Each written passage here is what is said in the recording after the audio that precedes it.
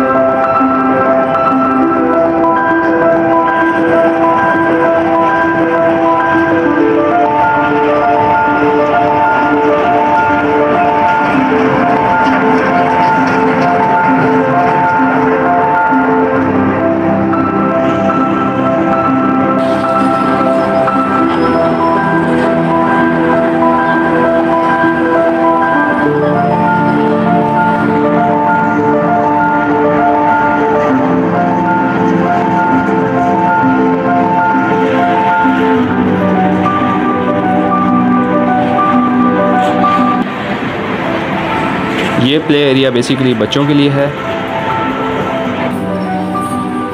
अच्छा भाई ने मेरे नॉलेज में इजाफा किया, उसको मोनो ट्रेन कहते हैं। और ये जो मैं आप लोगों के सामने शेयर कर रहा हूँ, और ये वाटर बोट्स हैं। और इसके अलावा ये क्या है? पायरेट शिप ठीक हो गया। और फ्लाइंग कॉर्पेट फाइन अच्छा ये जो इंस्ट्रक्शन थी, ये जस्ट इसके लिए हैं। ठीक है? ऐसे ही? और इसकी जो टिकट है, वो वन हंड्रेड रुपीज़ है आलमोस्ट अगर आप किसी एक को लेना चाह रहे हैं वो आपकी मर्ज़ी है। पायरेट शिप पे आप करना चाहते हैं, या मोनो ट्रेन पे, या ये बोट्स पे।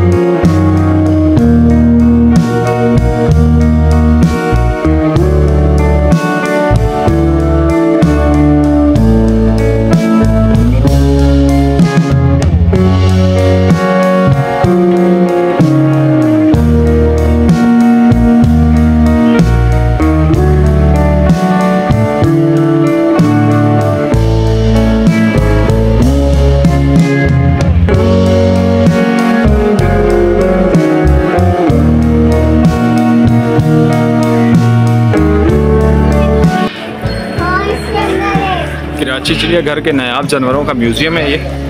और इसमें आप देखते हैं कि किस तरह के जानवर हैं। इसकी जो इंटरेस्ट है, वो बड़ी प्यारी इंटरेस्ट बनाई हुई है भाई।